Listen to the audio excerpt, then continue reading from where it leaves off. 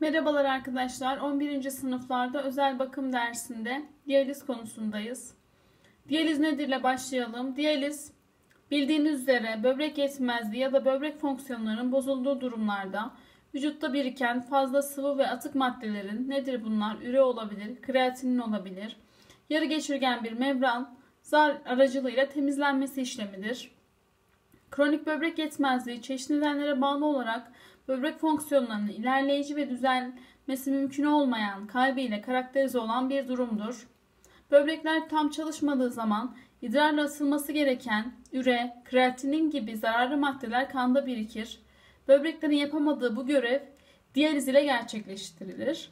Kronik böbrek yetmezliği olan hastaların sağlıklı ve kaliteli bir yaşam sürdürebilmeleri için hastalara transplantasyon ya da diyaliz yapılması gerekmektedir.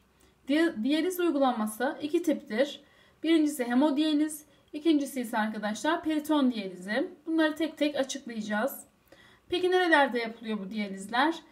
Her iki yöntemde hastanelerde ve diyaliz merkezlerinde uygulanabilir. Bir hemodiyaliz ünitesi görüyorsunuz. Diyaliz cihazları ve özellikleri hemodiyalizle başladık. Diyaliz cihazının tıpta kullanım amaçlarına bakalım. Protein metabolizması sonucu oluşan atık ürünlerin kandan uzaklaştırılması, zehir veya toksinlerin kandan uzaklaştırılması, fazla suyun uzaklaştırılması, kanda elektrolit dengesinin sağlanması veya korunmasıdır. Amaçlarım bunlar. Hemodiyaliz, arteriovenöz püstül, greft veya kateter yardımıyla hastadan alınan kanın vücut dışında bir cihaz yardımıyla sıvı ve solit içeriğinin yeniden düzenlenerek hastaya geri verilmesi işlemidir. Burada iki tip şant kullanılıyor arkadaşlar. Bunları da görüyorsunuz. Bu şekilde subklaviküler ve jugüler santral venöz kateterler kullanılıyor. Arteriovenöz füstül büyük bir venin artere füstül oluşturacak şekilde bağlanmasıyla oluşturulur.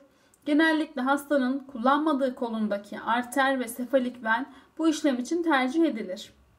Cerrahi müdahale ile bu iki damar anastomoz yapılır yani birleştirme işlemi yapılır arkadaşlar.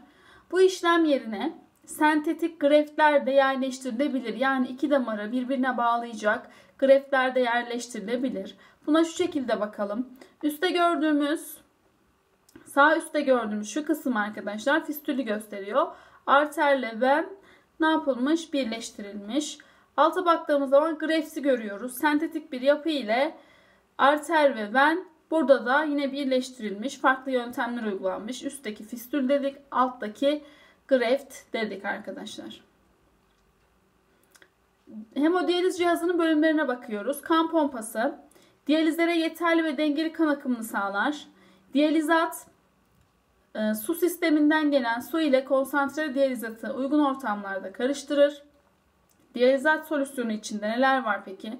Sodyum, potasyum, kalsiyum, magnezyum gibi maddeler var. Ultrafiltrasyon diğer bir bölümü. Hastanın atamadığı sıvıyı cihaz yardımıyla uzaklaştırmaya yarar. Monitörler sistemin değişik kısımlarındaki basınç, kontrol paneli ve ısıyı gösterir. Hava dedektörleri sisteme kaçmış havayı saptar. Heparin pompası.